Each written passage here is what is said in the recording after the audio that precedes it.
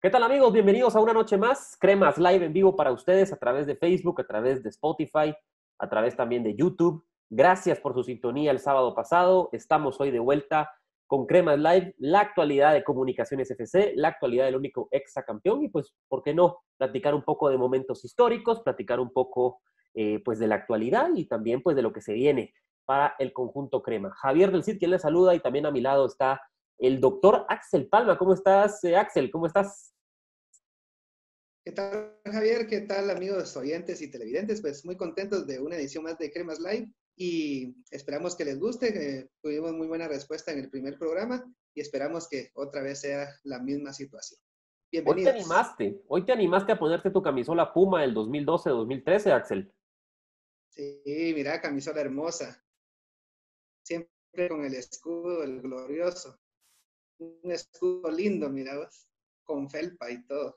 Sí, ese es, uno de los escudos más bonitos que se hizo en la, última década, se podría decir, Axel, porque, porque a partir de Puma creo que, que la historia del fútbol nacional, todo para abajo, Axel. Es decir, eh, Puma ha sido lo mejor que ha venido al, fútbol guatemalteco, tanto a nivel de clubes como a nivel selecciones. No sé qué vos qué pensás.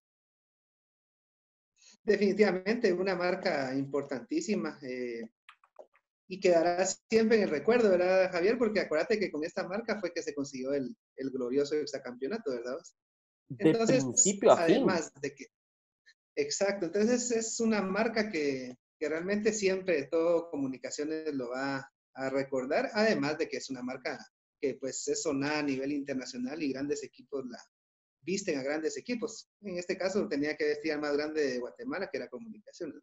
Sí, realmente yo sí me emocioné muchísimo cuando pues, se dio a conocer esa información de que Puma venía a comunicaciones y pues realmente hizo tres tirajes de uniformes muy interesantes, muy bonitos. El primero fue muy bonito, el segundo pues muy, muy sobrio, pero a la vez lo convirtieron en un uniforme histórico porque con, ese uniforme se consiguieron cuatro títulos de liga, el Tetra, eh, no, el, el Tri, el Tetra, el Penta y el Exacampeonato, imagínate. Entonces, eh, ya el último tiraje de Puma sí ya no fue exitoso en cuanto a títulos, pero creo que la marca Puma eh, dejó muy buena sensación de boca. Fueron casi, quiero ver, fueron cuatro años que estuvo Puma con comunicaciones, cosechando seis títulos de liga. Creo que realmente le fue muy bien a la marca. Imagínate, sí, lamentablemente, como vos decís, en el último tiraje, sí, la camisola linda. Eh, me gustó mucho la, el escudo conmemorativo del exacampeonato, ¿te acordás? Eh, sí. Lógicamente con esa camisola pues no se logró nada, pero creo que mucha gente la tiene y queda pues en la historia, si la tenés, como que con el holograma de, del exacampeonato, ¿verdad? sí, es cierto que, que, tenía el, el, el, el, loguito en medio, ¿verdad? El exacampeonato, lo recuerdo bien, ahí con los 30 títulos de liga. Pues bueno, Axel, pues arrancamos esta edición más, la número 2 de Cremas Live. Te cuento que ahora ya tenemos logotipo, ya tenemos nombre también. El, sábado pasado estábamos un poco pues ahí con la duda, la gente también preguntando cómo nos íbamos a llamar, qué íbamos a hacer, si cremas total, si cremas digital, si cremas total digital, si etcétera, etcétera, etcétera. Pero decidimos pues tras muchas horas de pensar y de analizar, pues un nombre básico, Cremas Live. ¿Qué te trae a vos Cremas Live? ¿Qué, qué te hace pensar? Sí, mira, realmente Cremas Live es que realmente lo estuvimos craneando, pensando cómo le poníamos al programa, si hacíamos una fusión entre los dos nombres. Pero al final, pues Cremas Live, porque si te das cuenta, eh, es en vivo eh, y todo lo que está sucediendo en vivo, ¿verdad? O sea, es como una forma de decir que, estamos vivos y que vivimos por comunicaciones. Exactamente, yo también iba por, por el mismo rollo, es decir, es también hablamos de que pues es un programa en vivo, un Facebook Live, un YouTube Live, etcétera, etcétera, pero también que estamos vivos, que estamos metidos, que estamos en la jugada, ¿no? ¿Verdad? Y aparte, pues nuestro logotipo que pues un poco sobrio, ahí pues eh, eh, al final de cuentas las letras, cremas live, y, y, pues también con el, con el contorno del logotipo de los cremas, un, un eh, logotipo que, que, se ha vuelto histórico para el, para el club crema, ya tiene muchos años de ser así, décadas tal vez, y, y pues con esa diagonal yo te decía, Axel, la diagonal comunicaciones no la ha explotado. Esa franja, esa franja amarilla que está en el escudo, comunicaciones no la ha explotado. Yo te dije, ¿por qué no la incluimos? Es decir, eh, yo no he visto un uniforme basado en, esa franja. Por ahí tuvimos un, eh, esa, exactamente, esa que está señalando ahorita. Eh, por ahí tuvimos un uniforme amarillo con negro en las épocas que un banco patrocinó al equipo, pero, pero más allá de eso, el amarillo ha estado totalmente ausente del uniforme crema. O quizás no es un amarillo, quizás es un color crema, ¿no, Axel? No, que, no sé vos qué pensás. Sí, realmente como vos decís, eh, hay que explotar todo, ¿verdad? Hay que explotar todo lo que, lo que pues por años no se ha podido explotar. Y es una forma de, de ver eh, el, el, lo, que no se ha, lo que no se ha visto del escudo, ¿verdad? Es que lógicamente está la franja cremita y encima está el nombre de Glorioso Comunicaciones, pero no lo hemos como que explotado esa franja, ¿verdad? incluso en ocasiones alguien me dijo que sería bonito hacer un uniforme blanco con una franja crema, ¿verdad? Eso sería muy lindo, la verdad. Sería, sería, sería muy lindo. Sí, eh, lógicamente yo para mí, eso sí, punto y aparte, disculpa que te vamos a hablar un poquito, por ejemplo, yo, vos sabes que a mí me gusta mucho la Juventus y estoy en contra de que se cambie un escudo, ¿verdad? en este caso la Juventus increíblemente, no sé cómo pudo hacerle para cambiar su glorioso escudo. O sea, para mí es inaudito. Entonces, a comunicación no le puedes tocar el escudo, ¿verdad? Pero hay ciertas cosas que se pueden resaltar, como por ejemplo la franja que estábamos hablando y que ahora es parte de Cremas Light. Y el otro día que CONCACAF también ponía pues las montañas con el cableado, ¿no? Que, resaltaba eso, ¿verdad? Cosa que, que, gracias a Dios salió comunicaciones y hay otro equipo que ni, ni se acordaron que existe, ¿verdad? Porque no existe realmente. Cuando vos hablas a nivel internacional de algún equipo en Guatemala, es comunicaciones. Imagínate que pusieron a Guastatoya y a la Antigua y no pusieron a nosotros que son llamados grandes, ¿verdad? Imagínate. Pero bueno, eh, entonces pasamos del tema de nuestro logotipo y de nuestro nombre. Eh, Axel, el sábado pasado, por cuestiones de logística, por cuestiones también de grabación, eh, no pudimos tener ah, el segmento dedicado al doctor Freddy Fernández que lastimosamente falleció por esta pandemia, por esta enfermedad eh, maldita que, sigue hoy en día afectando a miles y miles de guatemaltecos, a miles y miles de hermanos centroamericanos, a miles y miles de colegas en Latinoamérica y en el mundo entero. Eh, el doctor Freddy Fernández, eh, un médico dedicado a su trabajo, un ser humano extraordinario, una persona muy cálida, una persona que siempre estaba atenta a ver qué pasaba, a ver si algo te hacía falta. Es decir, yo me llevo de Freddy Fernández lo mejor. Es decir, eh, no sé si vos tuviste la oportunidad de tratarlo, eh, de hablarle, de, compartir con él, pero yo, de mi parte, me llevo lo mejor de Freddy Fernández. Un abrazo fraternal a su familia. Eh, y pues que descanse en paz mi doc y Freddy Fernández, Saxi. Sí, Javier, fíjate que nos enteramos de la noticia. Y la verdad que me dolió tanto, fíjate, porque ahí donde uno dice cómo este tipo de personas, que son buenas personas, además de un gran profesional, cómo puede ser que, que se vayan, ¿verdad? Eh, y realmente sí me dolió mucho la noticia, lo publicamos con mucho pesar en, en nuestras redes sociales.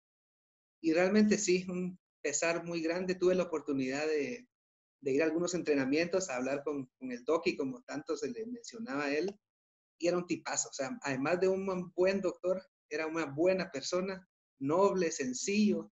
Eh, siempre estaba ahí para darte una entrevista, para darte un consejo, eh, no solo a jugadores, incluso habían periodistas y un montón de gente que le pedía pues ayuda y, y él siempre estaba dispuesto a, ¿verdad? Entonces sí, realmente con mucho pesar eh, lo, lo, mencionamos, le, ahí sí que le mandamos un saludo fraternal a la familia y, y es se va, siempre se va a recordar, además de que era una buena persona, un buen médico, fue parte y siempre se le va a recordar como que fue el médico que estuvo en el exacampeonato, además de otros títulos. Entonces es el doctor Exa, ¿verdad? En paz descanse mi doki. Eso sí es cierto, Axel. Eh, por lo menos yo tengo registros de que él llega al club en 2010. Entonces imagínate, que tiene los dos títulos del, bicampeonato de 2010-2011 y tiene los seis del EXA. Son ocho títulos de liga para el Doki eh, Freddy Fernández. sin duda, sin duda, Javier, sin duda, el doctor más exitoso en el fútbol de Guatemala. Así es, así es. El médico de cabecera de un club más exitoso de la historia del fútbol eh, guatemalteco, sin, sin duda alguna. Eh, ligado al club durante nueve años, eh, no solo atendía al equipo mayor, atendía a, Cremas B, a las fuerzas. Todas las categorías. Cualquier patejo que llegaba con una molestia, él estaba ahí para, para ayudarle, operó a, a múltiples futbolistas, cientos de cientos, no solo de comunicaciones, eh, sino que de, otros equipos, incluso de los rivales directos de comunicaciones. Y, y pues que salió en, en, junio de 2019, se fue con el cambio de, de directiva, con el cambio de presidencia, abandonó el club y, pues se dedicó a su, a su clínica, a su hospitalito que tenía por allá camino al progreso y, pues lastimosamente pues el COVID nos lo arrebató, el COVID nos, nos lo quitó. Em, a, manera personal yo tengo una anécdota muy, muy linda, eh, no es con él, pero, pero es gracias a él que se dio esta anécdota. Eh, yo estaba cubriendo un partido de Cremas Ben Sanarate eh, y yo necesitaba moverme a Guastatoya, que no sé si vos conocés, pero por lo menos hay un trayecto de unos 20, 30 minutos en carro. o sea, no es, eh, sí, es cierto que vos fuiste a Sanarate, es cierto, es cierto. Pues yo fui eh, esa vez y yo le llamo al Doki, porque yo sabía que era de ahí. Le digo, Doki, mire, ¿usted no me puede recomendar a alguien para, para que, me, que me haga el, el, el trayecto de, de Sanarate a, a, a, Guastatoya? Porque quiero pues movilizarme a hacer la cobertura del equipo mayor también en Guastatoya. Dijo, no tenga pena, cuando termine el partido de Cremas B, va a haber alguien con traje tal color no sé si me dijo traje amarillo, traje rojo, no sé cómo fue que me dijo, afuera del estadio, usted dígale que va de mi parte y él lo va a llevar sin problema alguno al estadio, al, al estadio Guastatoya, ¿verdad? Entonces, bueno, Doki, muchísimas gracias, qué pena, pero muchísimas gracias. Y pues terminó el partido y me llama, el Doki me llama, se interesó mucho, ¿verdad? Mire, ya fue a buscarlo. Pues fíjese, Doki, que me da mucha pena, pero no sé quién es. Espéreme, ahorita, ahorita lo localizo. Él hizo el favor de hacer la comunicación, él hizo el favor de hacer todos los arreglos y pues me subí en el carro del amigo de Doki de, Loki Freddy Fernández, me llevó a Guastatoya y pues yo después, bueno, ¿cuánto le debo? No se preocupe, ya el, ya el doctor me lo, me lo canceló todo, eh, ya está todo pagado, no hombre, ¿cómo va a creer? Eh, eh, entre otras cosas. Y pues luego me encuentro en Guastatoya con el, con el doctor Freddy Fernández, obviamente, muy cálido, que cómo me habían atendido, que todo. Y pues la verdad es de que por eso me quedo yo, ¿verdad? Era muy servicial, era una persona muy cercana, era una persona muy humana, eh, era una excelente persona, Lastimosamente, pues se nos fue y pues aquí lo recordamos en Cremas Live en esta noche. Sí, un pequeño homenaje que quisimos brindarle eh, y que en paz descanse y un fuerte abrazo y resignación a la familia. Así es. Bueno, Axel, pues el doctor Freddy Fernández. Eh, Dagoberto Arriola, Axel, no sé si vos te recordás de este futbolista. Eh, lastimosamente ya es julio, eso quiere decir que Dagoberto Arriola ya no es más jugador de comunicaciones, en este caso, eh, pues fue llamado en enero porque él ya estaba retirado del fútbol, él ya se estaba dedicando a, la venta de automóviles, a la importación de automóviles desde Estados Unidos. Eh, él estaba retirado y pues Willy Coito lo llama para que fuera el líder de Cremas B para intentar salvarlos. Cremas B que tenía la soga al cuello, Cremas B que tenía muy pocos puntos en la tabla acumulada y pues eh, cumplió con creces, con goles, con liderazgo, con anotaciones de, pelota parada, buenos disparos, buenas actuaciones y pues hoy se va, se va a Misco, Axel, no sé vos eh, cómo ves esta salida. Sí, fíjate Javier que yo es el típico jugador que vos como aficionado crema te vas a quedar siempre con esa gana de saber bueno, lógicamente sí fue convocado en algunos partidos de la mayor, ¿te acordás, verdad? Que sí. No, muchísimos. Y jugó, ¿verdad? Jugó algunos minutos y la verdad que uno se queda, ese es aquel tipo de jugadores que vos te quedas con la sensación de quererlo, haberlo visto más, ¿verdad? Vos de haberlo visto, pues que jugara más, que, que se consolidara, porque era un buen jugador, la verdad. Eh, incluso metía unos golazos de tiro libre, no sé si te acordás, o sea, metía buenos goles de tiro libre. Entonces, eh, sí, lamentablemente, pues se cerró un ciclo con, con Dago y pues bueno, esperamos que le vaya bien y que, que siga triunfando, ¿verdad? Porque creo que queda en la historia también de comunicaciones con un buen paso, sobre todo en Cremas B, ¿verdad? Y, pero sí, eh, es de aquellas sensaciones que te quedan de que lo quisiste haber visto un poquito más en Liga Mayor, ¿verdad? Mira, Axel, que las estadísticas no mienten. Tiene más de 50 partidos en Liga Nacional con el equipo mayor, pero lo asombroso es de que de los ocho títulos que ganó Comunicaciones del 2010 al 2015, él jugó en los ocho títulos. ¿Te puedes imaginar? O sea, eh, Eh, al menos algunos partidos. Al menos jugó cinco, tres, cuatro partidos por, por temporada, ¿verdad? Entonces eso lo, lo tienen los registros como, como, como exacampeón, ¿verdad? Sí. Fíjate que a él, él, si te das cuenta, lo colocaban en partidos aguerridos, ¿verdad? Partidos cuando íbamos a Marquense, partidos cuando íbamos a, a la Mesía, ¿verdad? A Malacatán siempre era un jugador que era para ese tipo de encuentros que lamentablemente hay jugadores que no me dejarán mentir, que tiraban lesión para ir a Malacatán, pero ahí estaba siempre Dago queriendo ir, ¿verdad? hay jugadores que no, no querían ir a Malacatán, no querían ir a San Marcos, que por lo lejos, que porque la cancha, que no sé qué.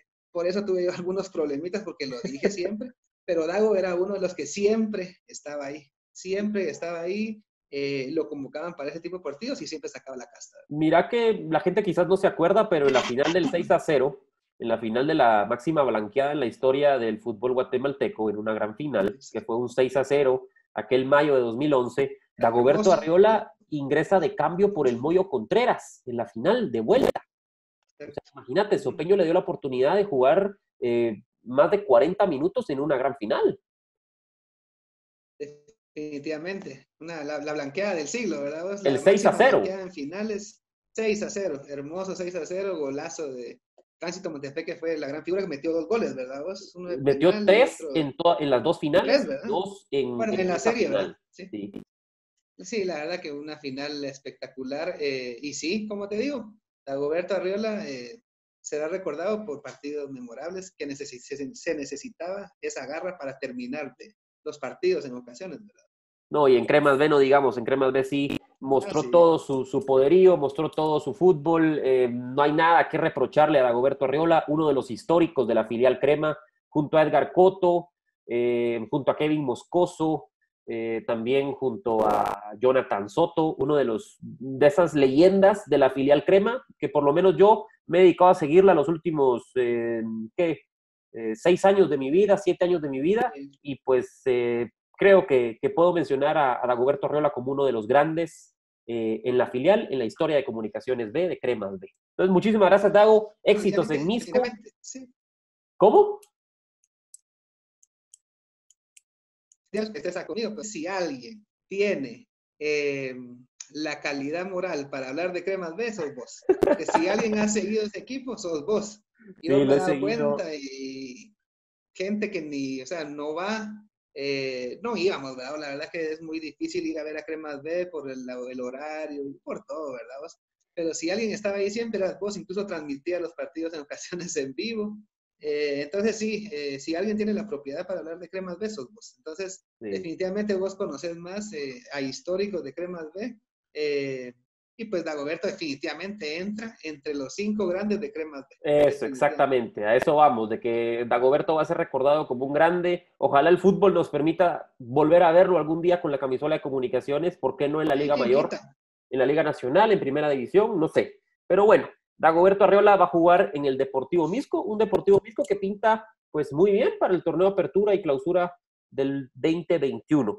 Axel, pues pasamos a nuestro segundo bloque, porque ya se nos fueron casi 15 minutos de este Cremas Live de este sábado.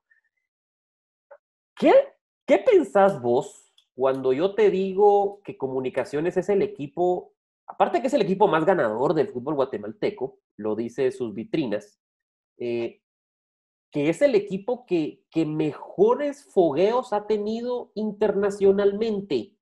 Es decir, te menciono estos nombres. Maradona. Te menciono a Di Stefano, a Puskas, te menciono a Palermo, te menciono también al Santos de Pelé. ¿Qué te viene a la mente vos cuando te hablo de los partidos históricos de comunicaciones, los amistosos históricos, que nuestro bloque número dos es dedicado a eso? Pues sí, Javier, definitivamente imagínate eh, los equipos que estás mencionando, el Santos, Boca, y Real Madrid, ¿verdad? O sea, imagínate, esos tres equipos históricos a nivel mundial jugaron contra el más grande de Guatemala. Definitivamente es un orgullo como crema el saber en la historia que vas a quedar como el equipo y el único equipo que jugó contra esos grandes equipos y contra esos grandes jugadores, como lo fue Maradona, Pelé, Pushkas, Di Stefano, etcétera, ¿verdad? Ahorita vamos a ir hablando de cada uno de los partidos más con algunos tópicos que se dieron en cada uno de ellos. Eh, eh, y realmente, gracias a Dios, tuvimos la oportunidad de al menos de estar en uno. Yo por lo menos estuve en, en uno que, que, vino Boca, ¿verdad? Lamentablemente los otros fueron en unos años anteriores que no tuvimos la oportunidad, pero nos cuentan nuestros abuelos, eh, nuestros papás, las crónicas que, que, históricamente se quedaron ahí. Y la verdad que orgulloso. Es una de las cosas que vos como crema y vos que nos estás viendo, tenés que sentirte orgulloso porque jugaste contra los equipos más grandes y contra los jugadores más grandes. Es que a eso vamos. Mundial.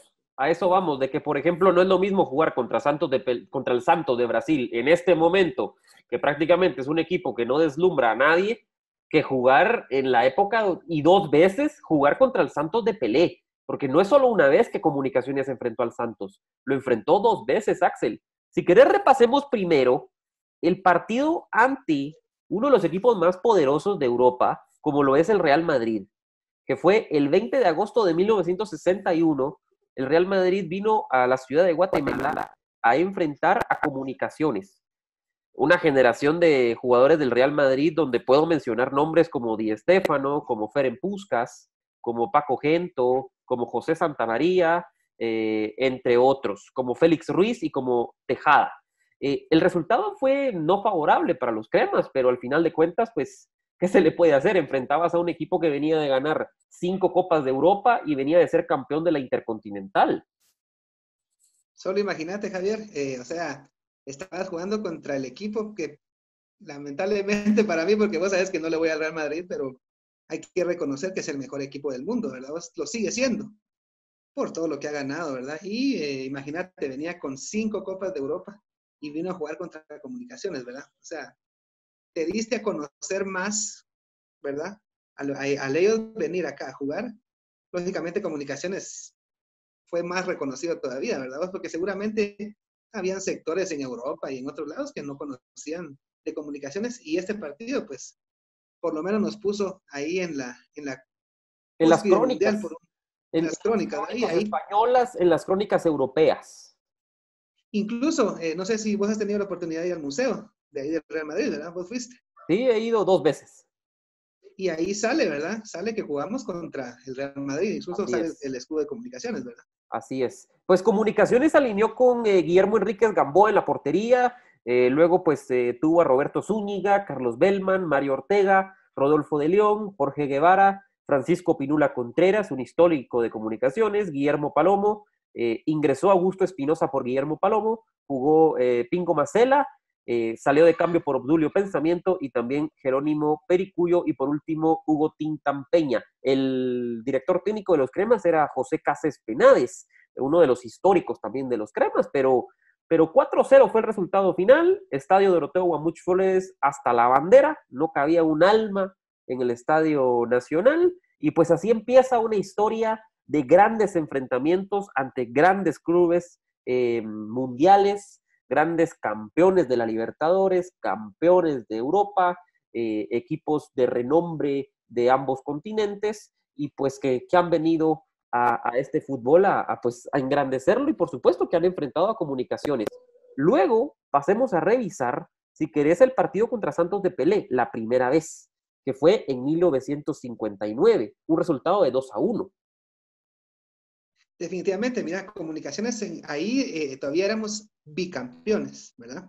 Todavía no se había jugado eh, el título del tricampeonato porque sabemos todos de que Comunicaciones empezó su historia grandemente con un tricampeonato del 56, 56, 57, 57, 58 y 58, 59. Pero cuando vino el Santos todavía no se había jugado la final del tri, ¿verdad? Cuando, cuando ya nos coronamos tricampeones.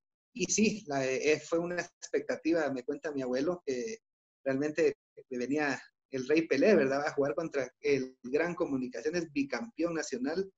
Eh, entonces, imagínate, era una gran expectativa.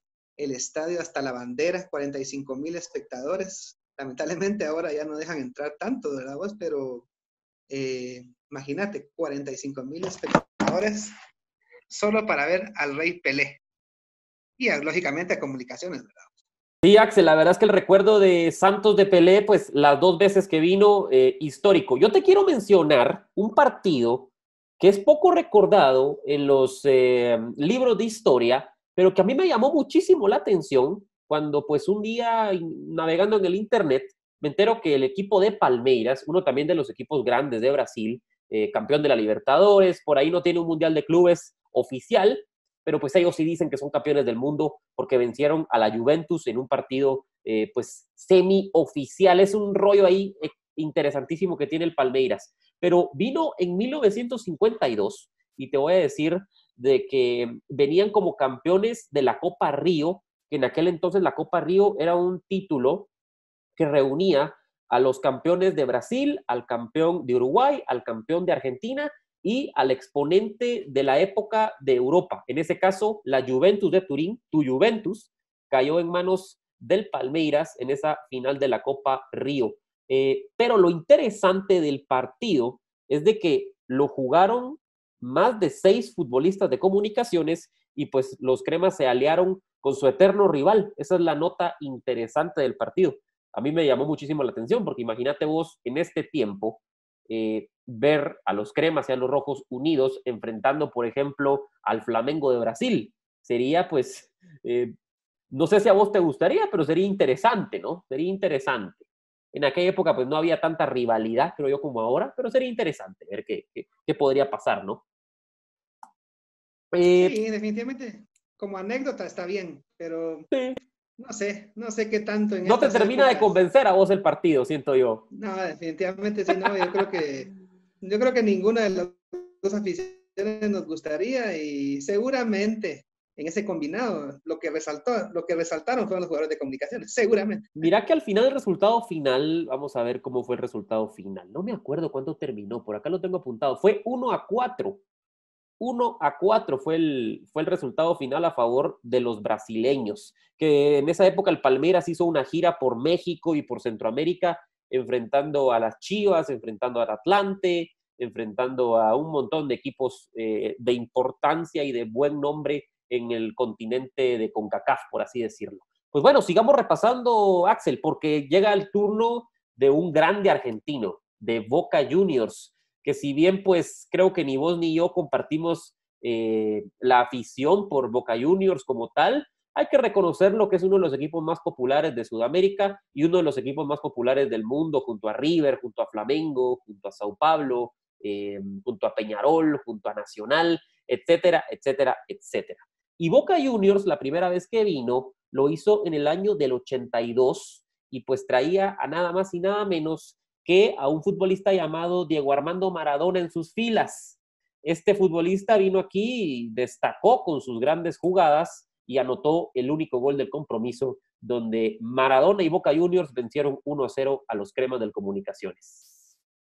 Sí, solo antes, Javier, no sé si para hacer un resumen rapidito contra el Santos, eh, entonces estamos sabidos de que en el 59 jugaron contra Comunicaciones, Comunicaciones fue, era bicampeón en ese entonces y el marcador fue 2 a 1. Sí. Apretado, ¿verdad? Sí, hay que, con, gol, de, con, gol de Pinula, con gol de Pinula, ¿verdad? Imagínate. Sí. El gran Pinula Contreras, que definitivamente, eh, aparte, aparte hay que mencionar esto, Pinula Contreras fue el primer ídolo, definitivamente como jugador de comunicaciones, el primer ídolo blanco y el primer padre de Municipal, ¿verdad? Eso hay que, hay que decirlo siempre, es el primer padre y el primer ídolo blanco. Eh, y luego hay que mencionar que el Santos también vino en el 72, ¿verdad? Para, ya que estábamos hablando del Santos, también con mencionar que vino otra vez el Santos en el 72, otra vez con Pelé, y ahí el marcador fue 1 a 1. Y ahí se dio un hecho. Ajá, ajá, contame, terminame ahí Se dio, ahí, ahí se dio un hecho eh, un tópico que hay que mencionarlo porque siempre en la historia se menciona, que fue, eh, fue un partido bien eh, disputado eh, y lamentablemente Pelé fue protagonista, no solo en lo bueno, sino en lo malo, porque también te cuento que Pelé en esa ocasión prácticamente, literalmente quebró a Luis Villavicencio, ¿verdad? Que era un gran defensa de comunicaciones, ¿verdad?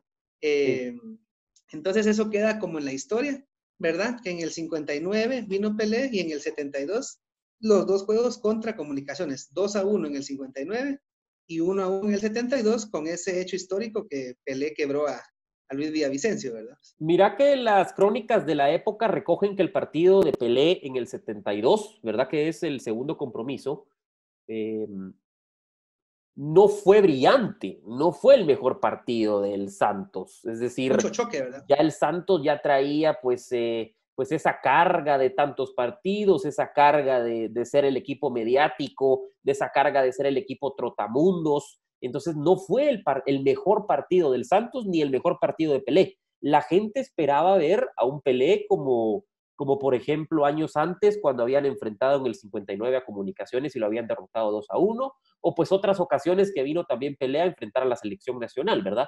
Eso también hay que, mencionarlo. Incluso eh, Pelé venía de, venía de ser campeón del mundo en el 70 en México. En, el Brasil 70, del Mundial de México 70, ¿verdad? Sí, una gran generación pero ya el Santos ya no era lo que era en la década de los 50 y 60, ¿verdad?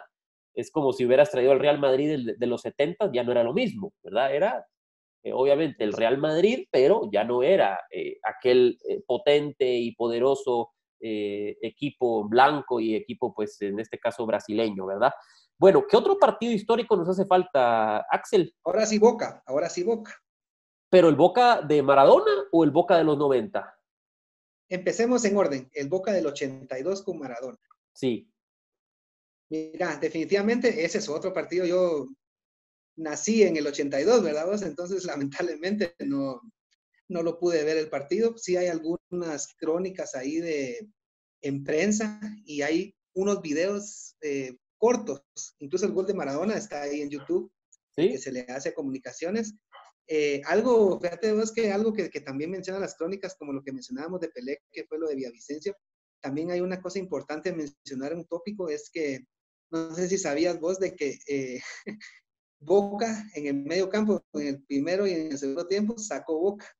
¿Me entendés? O sea, Boca tendría que haber sacado en el primer tiempo y Comunicaciones en el segundo y Boca sacó los dos tiempos. Eh, o sea, el mismo Boca Juniors sacó del medio campo la pelota en el primero y en el segundo tiempo. Algo histórico, ¿verdad?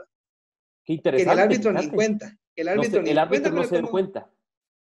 cuenta y fue histórico, ¿verdad? O sea, algo que, que, queda ahí entre las anécdotas, ¿verdad? Además de que vino, venía con, imagínate cómo venía Maradona en esa época, era la época gloriosa de, de, de Maradona, ¿verdad? O sea, sí, tal vez todavía no empezaba tanto yo tuve la chance de ver un documento histórico que el otro día pues me hicieron llegar. Eh, son un par de minutos de ese compromiso. Eh, Maradona, es una cámara que sigue a Maradona. Eh, es, un, es un documento inédito que me hicieron llegar a mí, amigos de argentinos. y realmente Maradona venía en un estado de fútbol impresionante y es un milagro que Comunicaciones haya perdido solo 1 a 0 contra el gran Diego Maradona, uno de los mejores futbolistas de la historia, si no el mejor. Sí, definitivamente ahí es, ahí es cuando venía él con, con aquel Boca del 82 que venía con Brindisi y era un Boca que, que muchos lo recuerdan, ¿verdad? Vos incluso hay un gol que Maradona hace, no sé si te acordás vos que siempre lo, lo, lo sacan ese, ese gol en la, en la, televisión argentina donde se cae un fotógrafo cuando hace un golazo Maradona. Te voy a decir el fotógrafo y se cae. Y es... Te voy a decir los nombres del Boca del 82. El portero era Carlos Alberto Rodríguez. Eh, Hugo César Alves, Oscar Alfredo Ruggeri, Roberto Mouso, Carlos Héctor Córdoba, José Jorge José Benítez, Ariel José Krasowski, Marcelo Antonio Troviani, eh, Ricardo Alberto Gareca, Diego Armando Maradona y el último era Horacio Ignacio Matu, Matusix. Ese era un equipazo realmente el de Boca Juniors en el año 82, imagínate vos. ahí faltó, en el 82. Ahí faltó Brindisi. Pero Brindisi tal ahí vez. faltó Brindisi. Brindisi, fíjate que no me aparece. Creo que no vino. En la nómina, no me aparece, fíjate. Estoy viendo la, la nómina en la página historiadeboca.com.ar, que es una página que se dedica a recopilar historia de Boca Juniors eh, tremendo. El gol fue al minuto 46, Axel, de Diego Armando Maradona.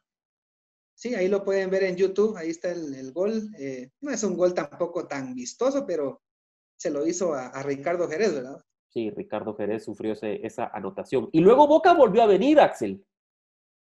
Ese partido sí, sí te recordás vos. Exactamente, en el 98. Ahí sí fui yo. A ese partido sí fui 10. hay algo histórico. No sé si te acordás, vos, bueno, vos tenías, creo que me dijiste que tres años, o algo así. Sí, yo tenía tres años en el 98. Fíjate que en esa ocasión eh, el, el, volcán, eh, creo que fue el del fuego, no me acuerdo que el volcán de agua o fuego, eh, sacó cenizas. Sí. Fíjate, y todo, y cubrió a toda Guatemala con esa ceniza, incluso estaba como que entre que se jugaba y no se jugaba el partido, y se jugó con el estadio Mateo Flores lleno de ceniza, ¿verdad? Y, y se, se, logró jugar el partido. Eh, un lleno total, ¿verdad? Es un lleno total impresionante. Eh, venían jugadores de clase mundial, ese Boca del 98, que era un Boca impresionante. Te voy a decir los eh, nombres antes que sigas. Te voy a decir que venía el Pato Abondancieri como portero. venía Diego Fernando Latorre, que años después iba a convertir en figura de comunicaciones. venía Claudio Paul Canigia. venía Martín Palermo, y pues esos son los nombres que yo veo destacados en la página también historiadeboca.com.ar. Lo... Sí, fíjate que me recuerdo que también venía, venía Arrobarrena, eh, venía Solano, el peruano. Sí, Solano sí venía. Eh, o sea, venían jugadores de talla mundial. Ese, ese Boca era un Boca que jugaba espectacular, ¿verdad? O sea, a pesar de que yo le voy a River, pero Boca en ese entonces era era el que mandaba en Argentina y, pues Roberto Arzú, que fue el que hay que reconocerle que él fue el que gestionó para que viniera ese Boca. Y el partido quedó uno a uno. El gol, adivina de quién fue. De los sí, el gol crema fue de Rolando Fonseca, ¿quién más? El único que se le podía poner de tú a tú a ese tipo de equipos. El único de los pocos que dio la cara en los partidos internacionales. El gran Rolando Fonseca, que siempre le mandamos un saludo, que que ahí eh, siempre lo recordamos y la gente lo ama, ¿verdad? Es un jugadorazo. Yo lo vi desde que vino, desde que vino a comunicaciones hasta que se fue y se fue como grande. O sea, se despidió como un grande campeón, no como otros que se despidieron no siendo campeón y me dieron una su vuelta ahí que nadie lo recuerda, ¿verdad? Pero no, él se, él se retiró siendo campeón y se recuerda, se recuerda como, como uno de los más grandes definitivamente de la historia de comunicaciones. Y el gol de Boca fue de Palermo. 1-1 quedó el partido. Un cabezazo de Palermo, lamentablemente. Jugadorazo también Palermo, ¿verdad? Entonces, eh, eh, el partido buenísimo. Eh, quedamos 1 a 1 y es algo histórico que otros equipos no lo tienen en, sus, en su historia, ¿verdad? Mira que en la página de la historia de Boca Juniors, en el comentario final, dicen que fue un viaje maratónico de casi una semana entre la ida y la vuelta y solo se jugó este partido. Es decir, Boca Juniors a Centroamérica solo vino a jugar el partido contra Comunicaciones. Y si detallan, por culpa de inclemencias en el clima. Y el partido se dio para que Boca Juniors fuera más reconocido en Guatemala, que Boca Juniors ya es conocido en Guatemala, pero pues, eh, pues gracias a Roberto Arzú, que pues hizo las diligencias para poder traer a Boca Juniors en esa ocasión en el año 98, y pues que para Boca fue un partido que, que pues vinieron, por ejemplo, un domingo y se tuvieron que regresar hasta el próximo domingo por las inclemencias del clima. Vos lo mencionabas muy bien, el tema del volcán. Bueno, ¿qué otro partido nos hará falta? Por ahí teníamos uno apuntado contra un equipo de Suecia. Que una cosita, pues, Javier. Sí, decime. Una anécdota. Una anécdota. Fíjate que cuando, no sé si te acordás que hubo una copa aquí, que vino Paraguay, vino Chile, eh, Bolivia creo que fue el otro, donde Valencia mete un golazo contra Paraguay que ahí un saludo al negrito que se lo mandamos el gol y impresionante el gol que metió con, con la selección a Paraguay, que se llevó a medio mundo y hizo una, de recortes y vieras vos ahí, ahí, yo creo que te acordás que lo acabo de subir hace poco. Fíjate que yo me recuerdo que yo fui al entrenamiento de Paraguay y como Ayala, ese gran defensa Ayala que estuvo en River, el paraguayo, Roberto Ayala creo que era, eh, miraba, es un jugadorazo. Entonces lo fui a ver entrenar a Paraguay. Eh, me acuerdo que estaba yo con el Pocho Cortés. Estábamos ahí porque él también fue a verlos. Y estábamos hablando ahí y entonces vine y le pedí un autógrafo a Ayala. Y eso que vos decías, de, que para reconocer más a Boca Juniors, porque tal vez aquí no se conocía. Y fíjate que Ayala, me, yo le digo, sí, mira, que aquí siempre te miramos los partidos de River, porque yo miraba los partidos de River, los, pasaban en el famoso, no sé si te acuerdas del canal, creo que todavía estaba, lógicamente, Face Sports, ¿verdad? Ya después Fox fue que los pasó, los partidos en vivo, en vivo de Argentina, con Macaya Márquez y todos estos narradores impresionantes. Eh, Eh, fíjate, entonces me decía, y se, mira, y se mira acá la Liga Argentina, me dice. Aquí se mira la Liga Argentina y olvídate, se mira en vivo. O sea, él se quedó sorprendido porque pensó que en Guatemala la gente ni sabía del, fútbol argentino o de un montón de cosas, porque lógicamente tal vez miraban a Guatemala como un país, no sé, como que vivíamos en la selva. Pero realmente es una anécdota que te quería contar, ya que decías de que tal vez aquí no se conocía mucho al Boca Juniors, ¿verdad? Pero allá la se quedó sorprendido de todo lo que le mencionaba yo de River, ¿verdad? Porque le empecé a hablar de River, ¿verdad? Y una anécdota ahí que quería que, que la gente eh, supiera, porque pensaban de que aquí en Guatemala realmente no. De que no, vamos, aquí como que, como que viviéramos en, en la selva de Ticalba. sí, muchas veces como dicen algunos, como, como dicen algunos, en la exótica Liga Guatemalteca de Fútbol. Sí, en la Liga Granjera, le dicen otros, imagínate. Algunos.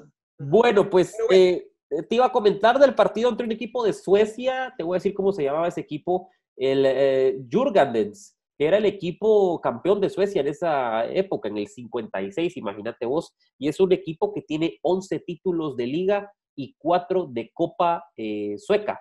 Este equipo vino acá y te voy a decir el resultado final, por acá lo tengo. fue un empate a uno, gol de Pingo Macela al minuto 18 y marcó John Eriksson eh, por, por, los, por el equipo sueco.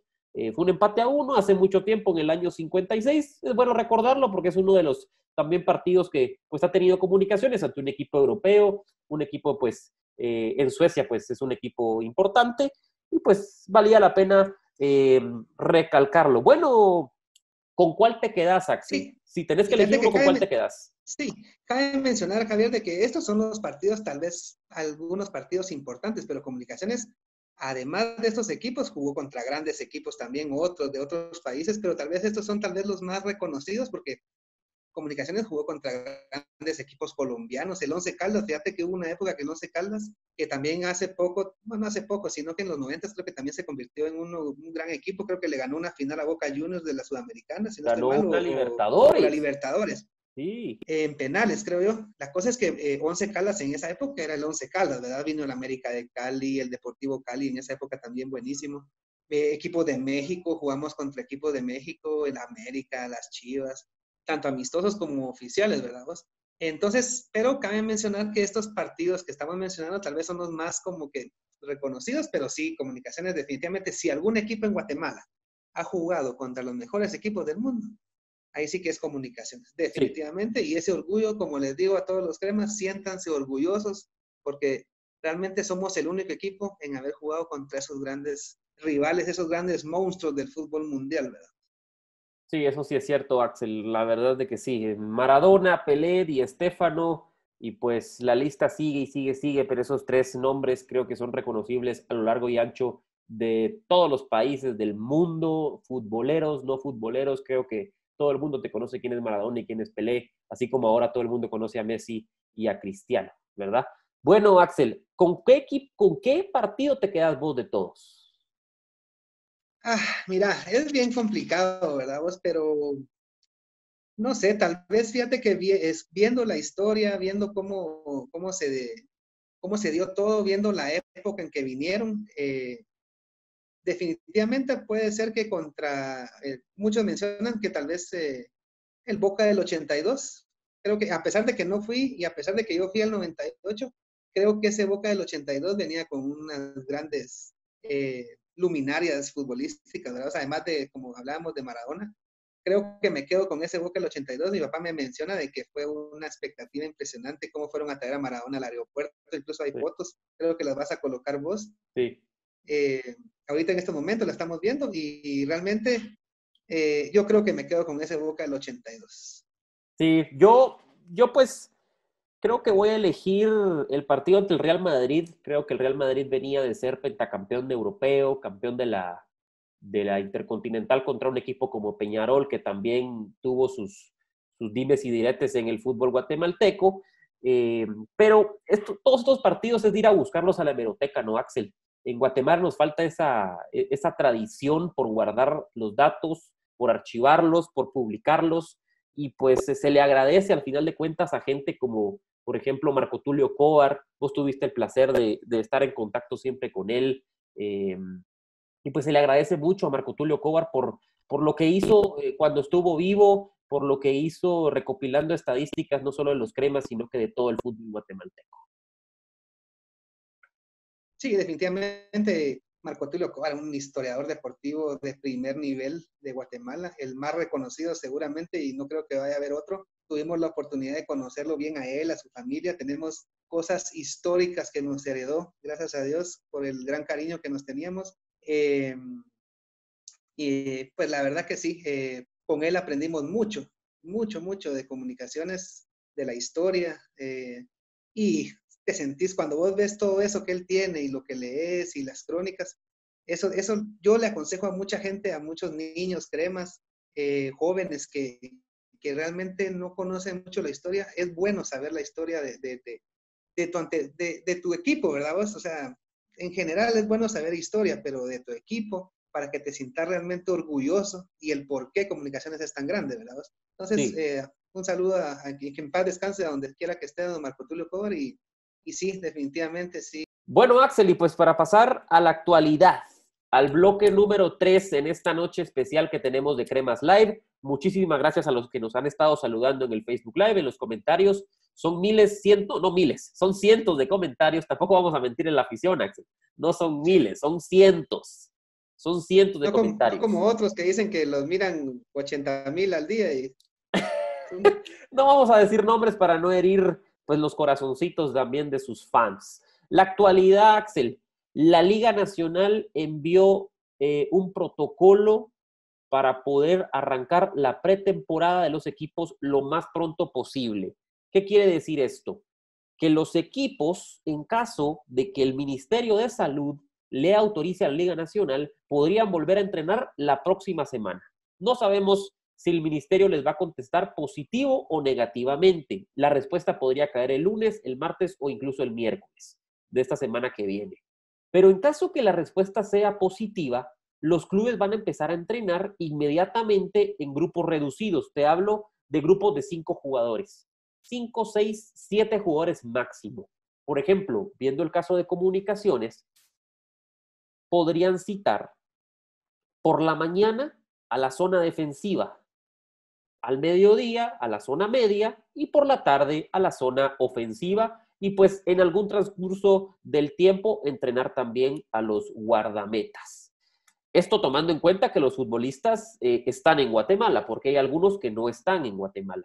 Entonces, ¿cuáles serían algunas de las recomendaciones o de los protocolos que tendría que seguir eh, los equipos guatemaltecos para poder eh, comenzar a, entrenar en caso que la respuesta del Ministerio de Salud sea positivo.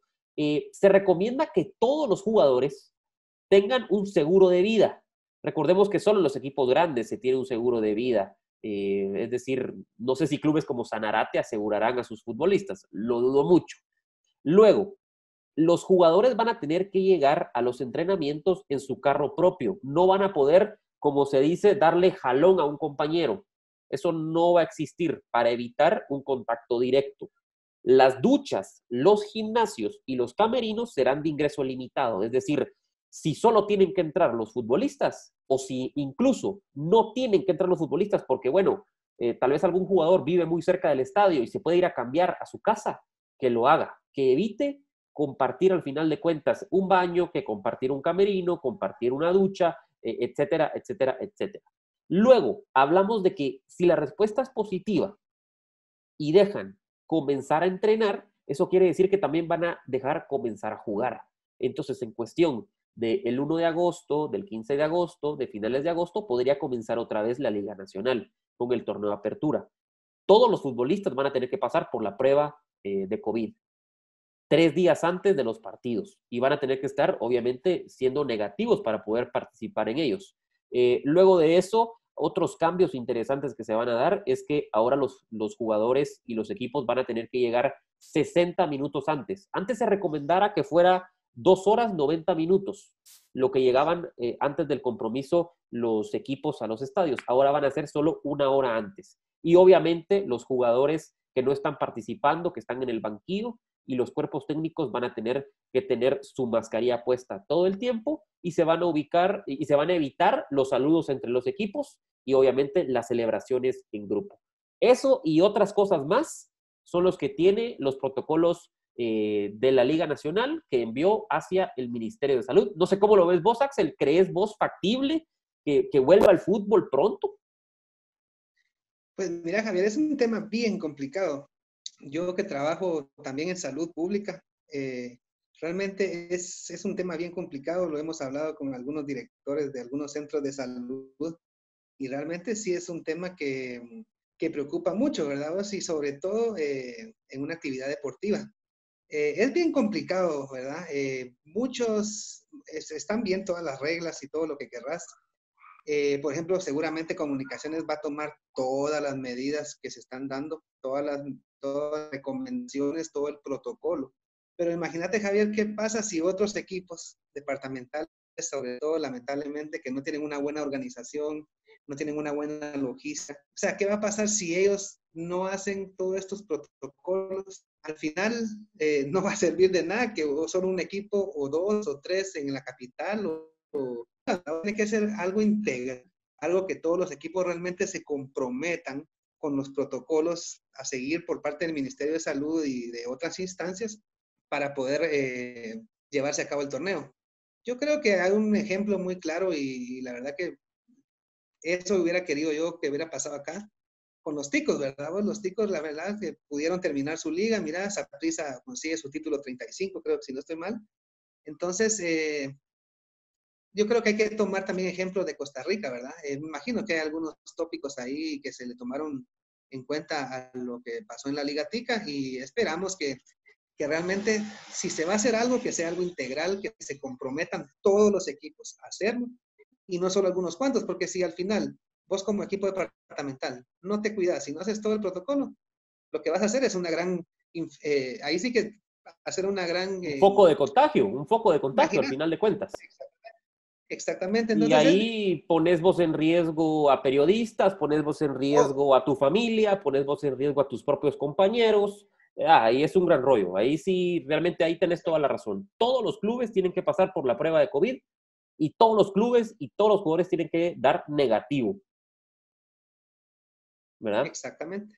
Y si alguien da positivo, aislarlo y no va a poder jugar, lastimosamente. ¿Verdad? Aislarlo y, y, y si alguno, eh, ahí sí que me, si dio positivo, eh, ahí sí que hay que hacer la prueba a todos los que estuvieron en contacto con él, así que todo el plantel, todo el club, todo, ¿me entendés? Porque si no, acuérdate que en 15 días es que se va sintiendo algunas manifestaciones del virus, imagínate. Sí, la verdad es que es complicado. Bueno, la Liga Nacional tiene cuatro escenarios para regresar al fútbol, a la apertura 2020. El primero comienza el 1 de agosto. Ese es el primer escenario y terminaría el 3 de enero, es decir, el arranque sería el 1 de agosto y la gran final sería hasta el 3 de enero. El segundo escenario es comenzar el 8 de agosto y eh, terminar el 10 de enero, es decir, ahí va una semana más. El tercer escenario comienza el 15 de agosto y termina el 10 de enero. Y el cuarto escenario también comienza el 15 de agosto, pero termina hasta el 17 de enero. Esto para darle un poco más de descanso a los clubes pero te voy a mencionar algo importantísimo. Si para el 15 de agosto no ha comenzado este rollo, no ha comenzado la apertura 2020, o, no ya, o, ya no hay, digamos, una fecha estipulada, si para mediados de agosto no hay nada todavía, si seguimos todavía en dudas, si seguimos creyendo que ya va a comenzar, pero todavía no, si todavía no hay una autorización del gobierno, del Ministerio de Salud, entonces la Liga Nacional se ve obligada a cambiar su formato y qué formato podría utilizar. Hay uno que está sonando mucho en las redes sociales, que es el formato de dividir la liga en dos grupos. Dividirla en el grupo 1 y dividirla en el grupo A o grupo A, eh, grupo B, o como querrás llamarle a los grupos. Obviamente sería una repartición equitativa, es decir, te voy a decir esto claro y pelado. Comunicaciones estaría de un lado y Municipal estaría del otro, ¿verdad? Los dos equipos más ganadores y los dos equipos, pues al final de cuentas, favoritos a llevarse el título. Y ya los demás equipos estarían repartidos, pues según la tabla de posiciones de los últimos torneos. ¿Jugarías una vuelta ante tus rivales de grupo? Es decir, jugarías cinco partidos ante tus rivales de grupo y luego de eso irías a jugar seis partidos ante el otro grupo. Es decir, que jugarías un total de 11 jornadas. Luego de eso ya habría una clasificación y pues ya habría una gran fase final y pues ya sería la fase final tradicional que tenemos. ¿Vos qué, qué pensás de este, de este formato? Pues mira, definitivamente es un formato corto, ¿verdad? Por eso es que se está haciendo así seguramente en dos grupos, para que sean la menos cantidad de, la menor cantidad de partidos posibles, ¿verdad? Eh, mira, yo creo que es, a mí me parece una buena idea. Eh, creo que va también un poco con los protocolos de seguridad. Eh, yo creo que tenés que hacer torneos express. Ahorita no se puede hacer torneos tan largos, ¿verdad? imagínate, menos como antes que eran torneos largos, ¿verdad? Entonces, creo, creo que sí se tiene que llegar a un consenso de hacer algo así, Javier, porque si no, yo creo que no se va a poder reanudar la, la liga nuevamente. Tiene que ser lo más pronto posible y torneos eh, express, ¿verdad vos? Porque al final eso es lo que se va a tener que hacer, torneos express, porque si no, creo que nunca vamos a, a poder comenzar la liga, ¿verdad? Hablando de torneos express, Axel, eh, los que piensan hacer un torneo express es la gente de la primera división, es decir, donde juega Cremas B y te voy a comentar cómo es que ellos quieren hacer su formato de competencia que por aquí lo tengo. Esta es información que salió de Ciudad Deportiva. Em, quieren hacer cuatro grupos de cinco equipos. Recordemos que en la primera división hay 20 equipos inscritos.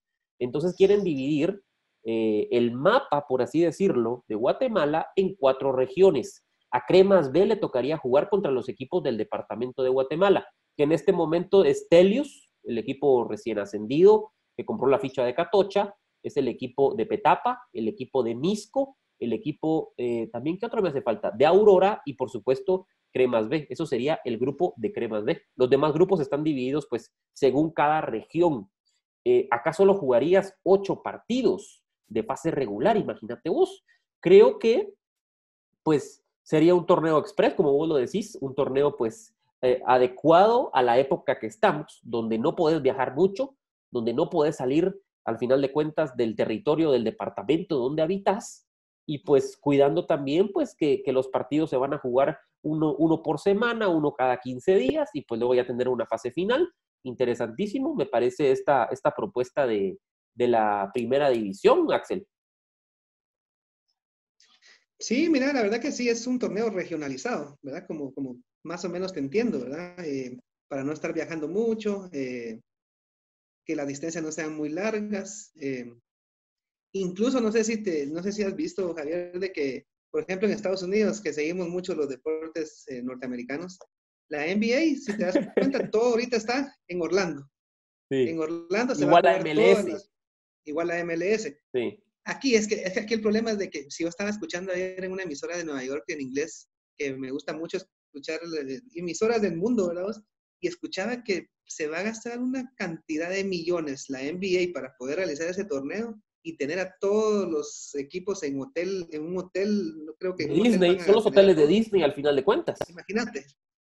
Entonces dice que va a ser impresionante, creo que son 125 millones, no, algo así, no me acuerdo realmente la, la cantidad, pero imagínate lo que va a gastar. Entonces aquí es muy difícil, pero sería una buena idea, pues que se hicieran un torneo, aunque no creo que los equipos departamentales quieran, ¿verdad? Pero un torneo que se pudiera jugar en una sede, ¿verdad? No sé, escoger alguna sede. No, y si no es una, mira, si no es una sede, podrían ser varias, podrían ser varias, porque yo te hablo de pero que, por ejemplo, eh, podría ser, digamos, el Estadio Nacional, el estadio del ejército, aunque bueno, el estadio del ejército ya, ya está para caerse, pero bueno, lo que nos importa es el campo, eh, el estadio Cementos Progreso, eh, no sé si podrías meter a la, a la, suma la antigua, que está pues relativamente cerca, podrías meter Petapa. Incluso Revolución, el Revolución. Podrías meter el Revolución, el estadio de Pinula, de Santa Catarina Pinula, que está en perfecto estado. Eh, y así te vas buscando estadios cercanos a la ciudad capital, y yo creo que conseguí cinco o seis estadios que están en buen estado, que la grama está buena, donde puedes poner a jugar, digamos, cinco partidos al mismo día, al mismo tiempo, y salir ya de una jornada en un día y dentro de tres días volvés a jugar otra, ¿verdad?